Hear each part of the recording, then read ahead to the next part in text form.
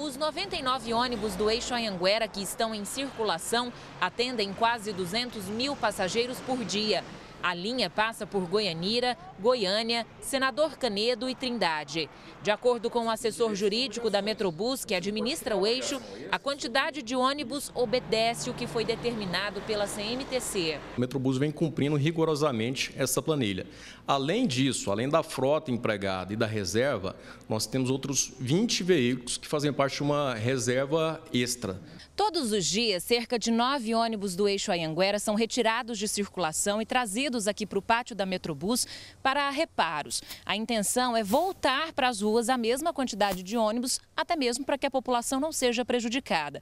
Os problemas mais comuns estão relacionados aos pneus, como neste caso aqui, que o pneu teve que ser retirado, aliás, toda a roda, nos freios e também na suspensão.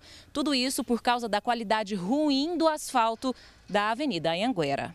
Hoje, 20 ônibus extras estão parados no pátio. Por que, que eles não são é, recuperados imediatamente? Porque a manutenção da Metrobus cuida exclusivamente, nesse momento, da manutenção preventiva dos veículos que são retirados por conta da má conservação da pista. Em razão disso, é, os nossos profissionais não têm tempo né, para recuperar esses demais veículos. A nossa expectativa é que tão logo o asfalto seja recuperado, que a gente gradativamente recupere esses veículos para que eles fiquem à disposição, se for o caso, para incrementar a frota que já é, é aquela estabelecida pela CMTC.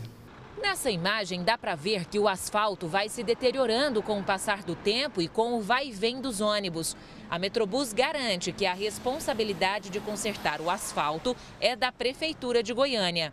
O Ministério Público já entrou no caso e tenta um acordo entre as partes. Já a Prefeitura afirma que espera que sejam definidas as responsabilidades de cada órgão em relação à recuperação asfáltica da Avenida Anhanguera. Enquanto isso, quem sofre é a população. Desde quando foi criado essa via em Anguera aqui, você vê que a manutenção dela é muito fraca, né? deixa muito a desejar.